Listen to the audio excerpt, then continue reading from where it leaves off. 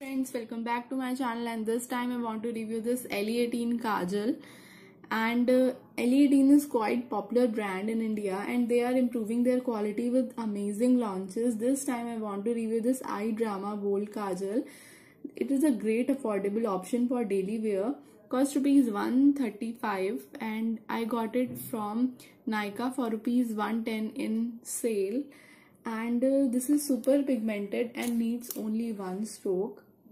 And it has super creamy soft texture that glides smoothly on eyes without any tugging. Even on my waterline application is so much smooth and even that my eyes is so beautiful due to this creamy texture. But it is not totally smudge proof due to its creamy texture it uh, it does not smudge automatically. But if you rub this kajal then it smudges. And also decently it is waterproof. It doesn't wash off with water. Product claim that it will last all day long but after 6 hours it looks little smudgy.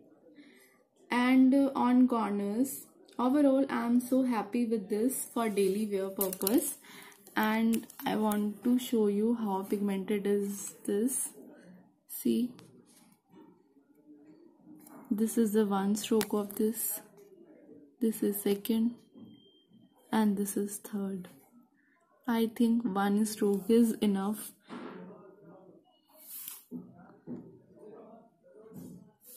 This is a great kajal for daily wear. And I think when you touch it smudges like this.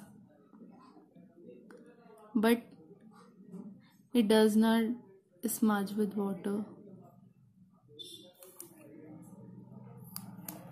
Thank you friends for watching my video. This is my review for this Elle 18 kajal and this is smudge with my hand. See so thank you friends for watching my video and please subscribe my channel if you like my videos. And bye. Take care